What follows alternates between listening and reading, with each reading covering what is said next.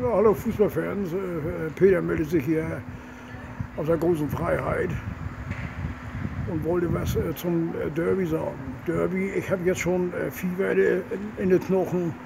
Das Derby ist immer was Besonderes. Ich muss nur eins sagen, also St. Pauli ist für alle da, das wissen wir. Nicht? Also ich bin schon dritter Generation hier in Hamburg. Und St. Pauli war meine zweite Heimat, das dazu zu St. Pauli. So, jetzt will ich was zum HSV sagen. Also Derby ist ja ganz was Besonderes. Ich hoffe, dass die Leute, wir haben ja nicht viele Hamburger drin, bis auf Erb und sonstige Leute haben wir ja keine, keine richtigen Hamburger da drin.